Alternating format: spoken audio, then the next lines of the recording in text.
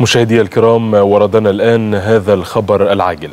حيث تلقى وزير الخارجية سامح شكري اتصالا هاتفيا من نظيره الأمريكي أنتوني بلينكن وصرح السفير أحمد أبو زيد المتحدث باسم وزارة الخارجية بأن وزير خارجية الولايات المتحدة الأمريكية أعرب عن تطلع بلاده للعمل المشترك الوثيق بين الولايات المتحدة ومصر خلال الولاية الجديدة للسيد الرئيس.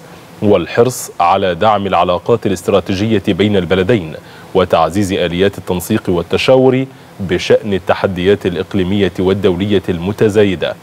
وأضاف المتحدث باسم وزارة الخارجية بأن الوزيرين تناولا بشكل مكثف تطورات الوضع في قطاع غزة حيث توافقا على استمرار رفض أي نزوح للفلسطينيين خارج أراضيهم وأهمية العمل بكل الوسائل للحيلولة من دون وقوع ذلك.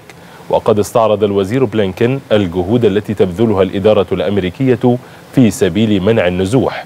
ومن جانبه أكد سامح شكري ضرورة العمل من أجل ضمان تكثيف نفاذ المساعدات الإنسانية إلى داخل القطاع معربا عن تطلع مصر لدعم الولايات المتحدة لمشروع القرار المطروح من المجموعتين العربية والإسلامية بمجلس الأمن نظرا لطبيعته الإنسانية وما يوفره من آليات تسمح بنفاذ المساعدات الإنسانية إلى داخل قطاع غزة بسهولة ويسر وخلال مدة زمنية قصيرة للتعامل مع الاحتياجات الإنسانية الضرورية للفلسطينيين ومواجهة التحديات والمعوقات التي اكتنفت دخول المساعدات خلال الفترة الماضية.